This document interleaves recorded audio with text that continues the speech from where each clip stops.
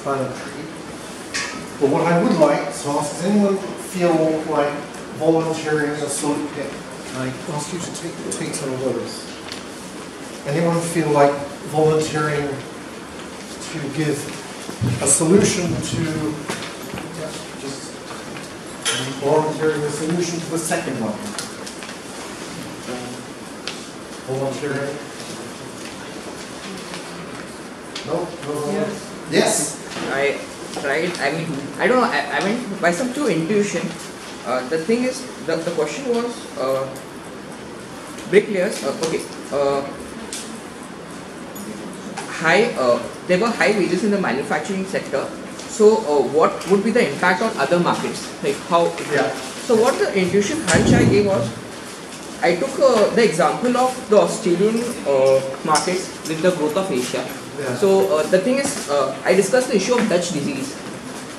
Yeah. Uh, the thing was, uh, the story which I got was uh, in the Australia, uh, with the growth in Asia, there was a lot of growth for the mining sector in Australia, and uh, due to the growth in manufacture uh, in the mining sector, it spilled over to manufacturing sector as well.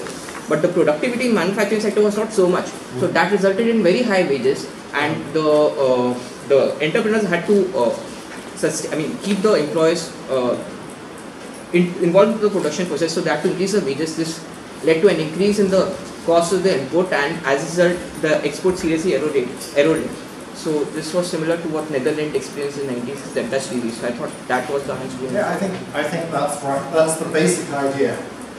What, the point of my asking this question was to make you realize that what I was saying on Friday afternoon, which towards the end was that marginal products are endogenous variables. The value of the marginal product is an endogenous variable.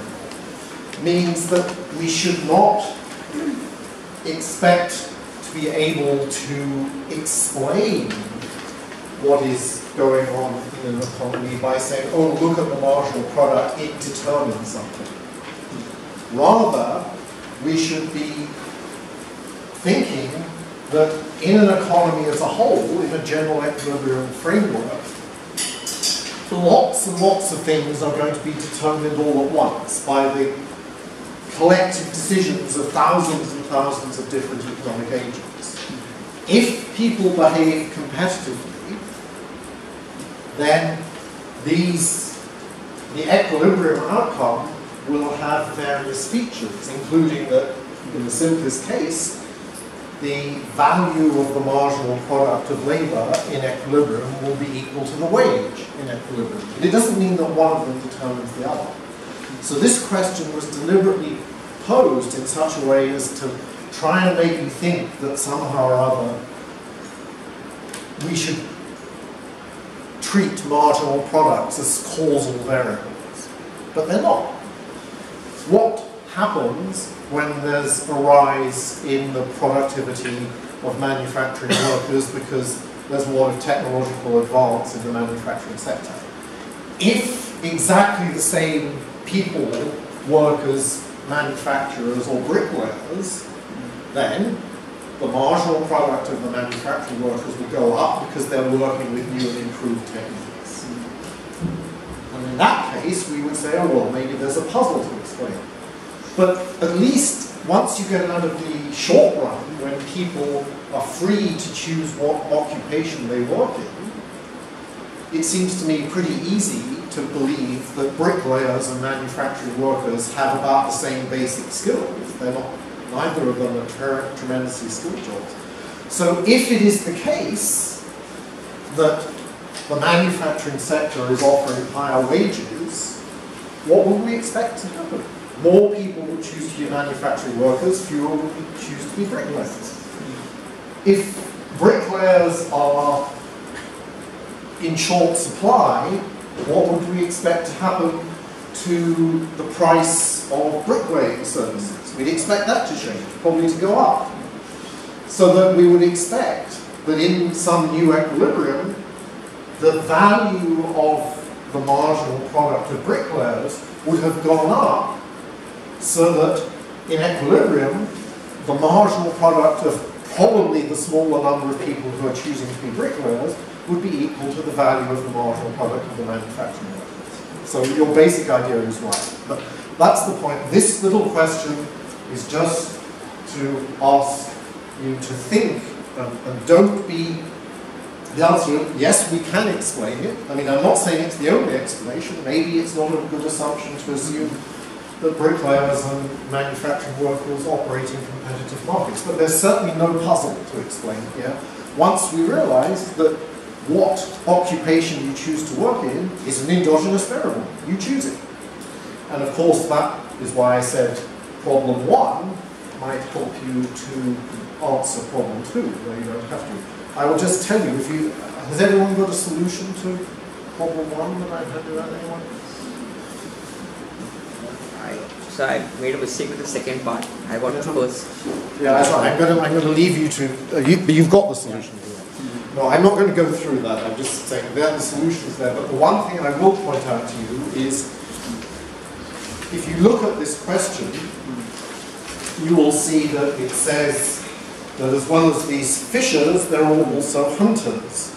And hunters catch a certain number of rabbits a day. And question, a part C of the question says, how does an increase in the productivity of rabbit hunting affect the equilibrium price of fish? In other words, suppose that for some exogenous reason, people who go off and hunt rabbits suddenly can catch 2k rabbits a day what would we expect to happen? Well, if nothing changes, then all the hunters will be much better off than the fishers. So we expect the fishers to move into hunting. When they do that, the price of fish goes up, and in this very special case, it turns out that the price of fish goes up in equilibrium by just enough so that once again half the villagers choose to hunt and half to fish. So in this special case, there the new equilibrium has exactly the same number of hunters and fishers, it's just that the price of fish goes up so much that it is enough to mean that half the, when half the workers choose to do hunting or fishing, both sets of workers are indifferent at the margin between which occupation they follow. Anyway, so you might conceivably be interested in the history of question two, in the early 1990s, the American Economic Association produced a large report, report on graduate education and economics in the United States. And one of the things they said was they were very worried about the fact that although graduate students in economics showed amazing proficiency in being able to solve differential equations, etc., they had no economic common sense. And that's this specific question they used as an illustration and they said top graduate students in you know, MIT, Harvard, wherever, when they're confronted with this question, they go, oh, I don't know what to do. Because they haven't, you know, there is a bit, there's a different, I mean, I'm not at all suggesting that you should not learn the technical skills of economics, but still, don't let the technical skills uh, dominate to such an extent that you can't sort of step back a bit and say, what's the underlying idea? The underlying idea of a model of competitive general equilibrium is that basically everything is endogenous. And we must always remember that lots of adjustments can take place throughout the economy when there's some change in an exogenous variable. And don't, for goodness sake, treat marginal product as a causal variable, because it isn't. It's an endogenous variable. Okay, that leads me on to the next thing I want to talk about, and this in a way is just going back to the points that I, I was making at the end of Friday's lecture. My general point towards the end of Friday's lecture was that in a model of complete markets, competitive, sorry, complete competitive market general equilibrium, the causal variables in that economy were the exogenous variables. Those were preferences, production sets, and the property distribution. So that when we want to explain why some economic variable is as it is, ultimately we're going to have to trace that back to what's going on at the level of those exogenous causes.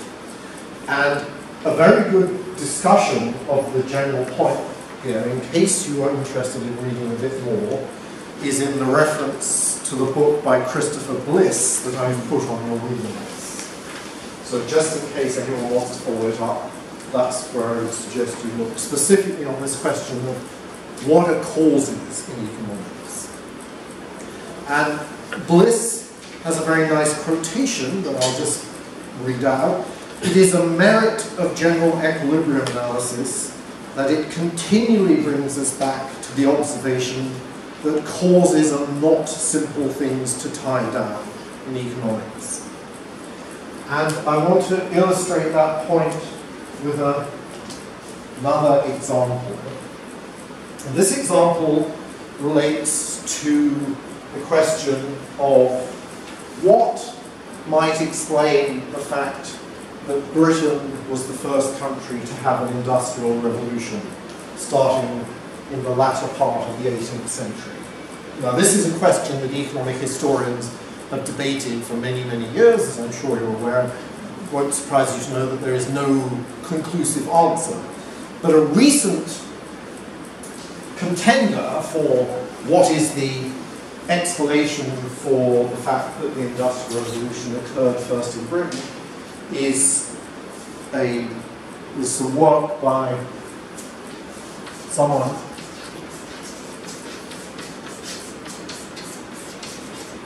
who has now retired from Oxford University but was at Oxford for quite some time, uh, Robert or Bob Allen. And Allen's answer to the question is that is the following. In Allen's view, the reason the Industrial Revolution took place first in Britain was that Britain was a high wage economy, so that in terms of the cost of inputs to production, capital goods, machinery, coal were all relatively cheap compared to labour, and thus, in Allen's view, there was a strong incentive for labour saving innovations to take place in Britain, and this was what labour saving mechanisation took place first in Britain because Britain had high wages. Now, let me say that I am prepared to believe that as a description of what happened in the second half of the 18th century in Britain, I'm willing to believe that. I just want to notice that it is not an uncontroversial uh, description. Some economists say it is not true that Britain did not have higher wages than France or wherever. But let, that's not what I want to get into. So let me grant Allen that it is the case that Britain was a high wage economy. Anyone who has studied general equilibrium theory, even for a short while, surely must feel uncomfortable with the claim that the reason why Britain industrialized first was that it had high wages. High wages can't possibly be an exogenous variable. I mean, God didn't just say in 1753, ah, British wages are all going to die. If that had happened, I might believe it, it was exogenous, but it didn't happen. So there has to be some reason, if you look at it from what I think is the right way to look at it, from a general equilibrium perspective, there has to be some reason why British wages were high. So that, surely, is more likely to be the true explanation for why the Industrial Revolution took place in Britain first. The high wages are just a sort of symptom of something else that was going on. Now, Allen is certainly no fool, I'm not suggesting that he is, and he has his own view about why Britain had high wages in the late part of the latter part of the 18th century. So Allen's reasons, he actually focuses on the expansion of international trade, which took place in the earlier part of the 18th century. And he says that the expansion of international trade was good for British wages. It was partly benefited British wages because of the acquisition of colonies, partly because mercantilist trade promotion policies were followed. So Donald Trump is clearly on the right hand line. And partly because Britain had a strong navy. Now, I don't fundamentally disagree with those things, but I, my own reading of the situation is that the role of international trade in the British economy before 1750 was not that great, and I find it rather difficult to believe it's that alone that led to high British wages by towards the end of the 18th century. But again, I'm, my point is not really that I'm wanting to have a long discussion about economic history. I'm just saying that whatever it is that led British wages to be high, it was that that was the cause of the Industrial Revolution happening first in Britain, not the high wages themselves. My own view is actually, I mean, insofar as I know anything about economic history, I'd be rather tempted to say that Britain was already doing relatively well as an economy compared to other European economies. I mean, the only economy that might have, that was probably doing better than Britain in the beginning of the 18th century was the Netherlands. So we then get to this sort of puzzle that once we start trying to go back and say, what were the reason, what was the reason why British wages were high, we sort of end up saying, well, British wages were high because Britain was already doing well. In which case Britain industrialized first because it was doing well, which leaves me even more dissatisfied as an explanation. But anyway, my point is not to say that Bob Allen is wrong, it's just that I don't like his emphasis on high wages as being a causal factor. I just don't see how high wages could ever be a causal factor because they are determined by what the economy as a whole is doing.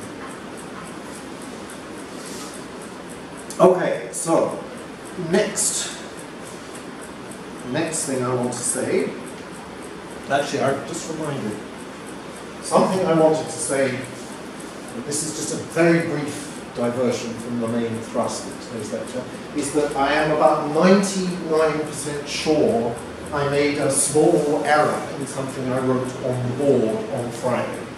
And uh, just in case, just in case I did do it wrong, let me correct it. It's a very, it's the sort of error that one can be excused for making. At least that's what I think.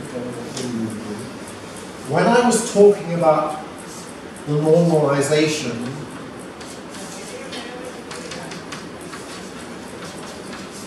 which says we normalize the price vector so that the sum of its elements was 1.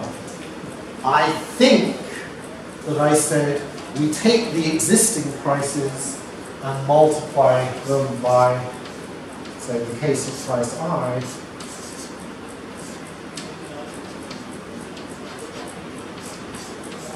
the sum of all prices.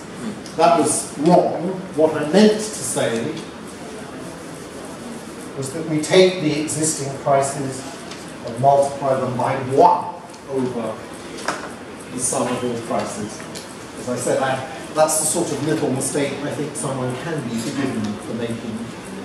I don't think it, nothing that I said on Friday depends on me having made this little mistake. But the correct statement is that if you normalize the price vector so that its sum equal, the sum of its elements equals 1, is that you multiply each element by 1 over the sum of all the non-normalized prices.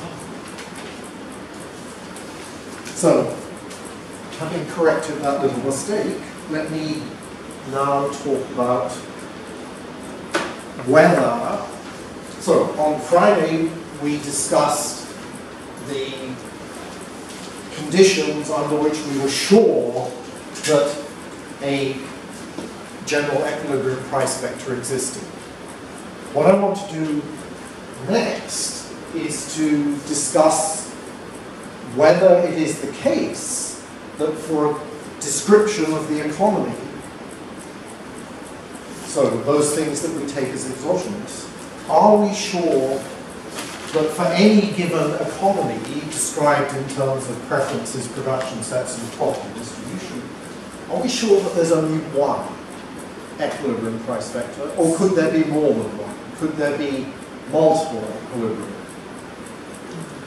Now, is the case that the answer to this question really turns exclusively on the demand side of the economy, not the supply side of the economy.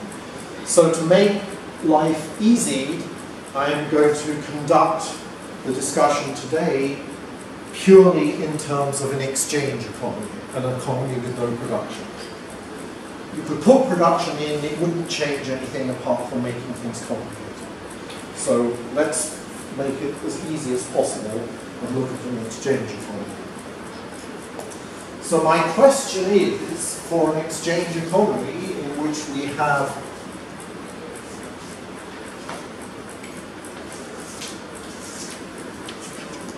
we have a description of the preference orderings of all the individuals in the economy, and we also know for each individual,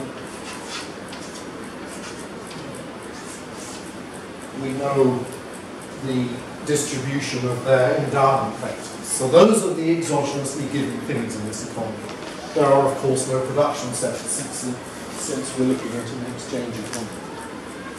So my question is, take some description of the economy and say, are we sure that if the convexity conditions that are sufficient for us to be certain that a competitive equilibrium price vector exists, is there only one of these price, price vectors, or could there be more than one? the way I'm going to approach this is to stick to a two good economy because then I can draw pictures. So we have a two good economy many households and I'm going to assume that prices of both goods are always strictly positive. So in this case, in contrast to what I did on Friday afternoon, I'm going to set the price of good 2 equal to 1 as the numeraire. I do that because it just makes the tiny bit of mathematics I'm going to do even easier. So,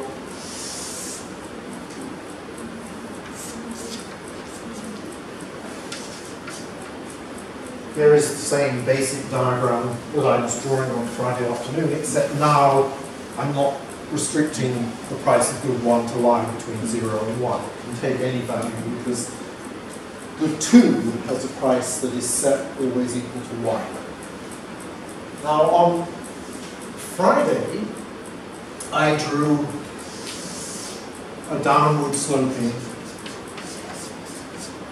aggregate excess demand function for group 1. And I said, at any point where the aggregate excess demand for group 1 is 0, that must be a competitive general equilibrium because Walras law ensures, provided both prices are strictly positive, which I'm assuming here, that if excess demand for group 1 is 0, so too is excess demand for group 2.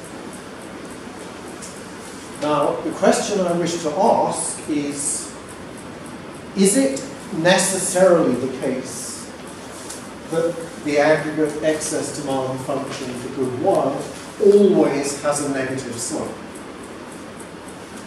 And to answer that question, I just want to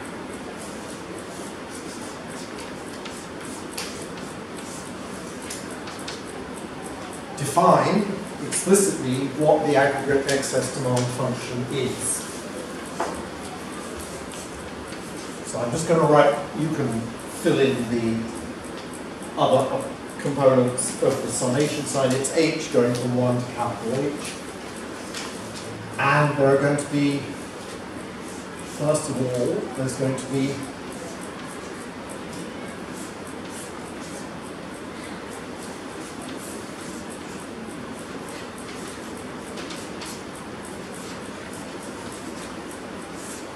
this is the first component of the excess demand function. This is the sum of all individuals' Marshallian demand for good 1. Okay. There is the only relative price that matters, P1. And this term is consumer H's income. And consumer H's income is the value of consumer H's endowment of good 1 E1 time over times over H1. and the value of individual H is endowment of good 2. P2, remember, is equal 1, so that's why you don't see P2 there. So that's standard Marshallian demand function. Prices and income are the arguments of this Marshallian demand function.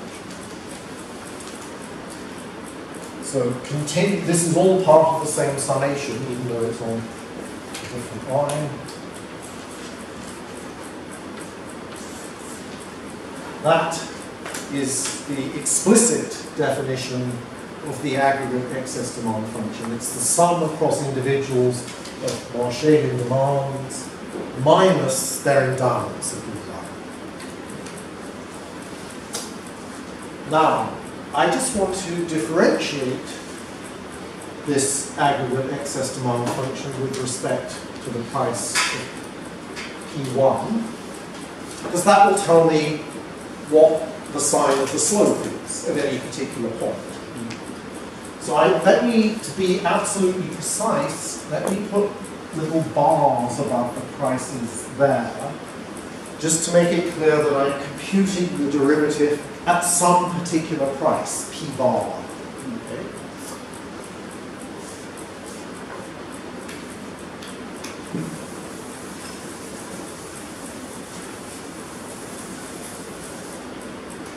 So this is just straightforward differentiation.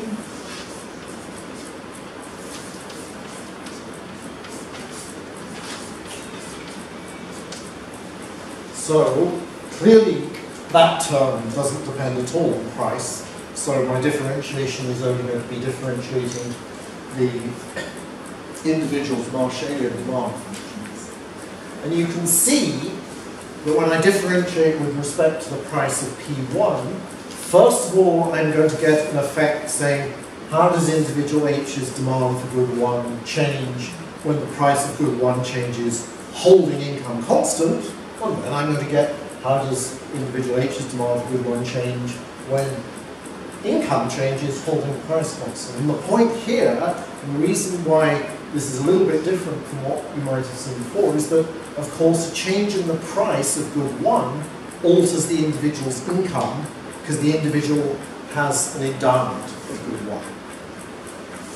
So, let's do that. So first, the price effect holding income constant.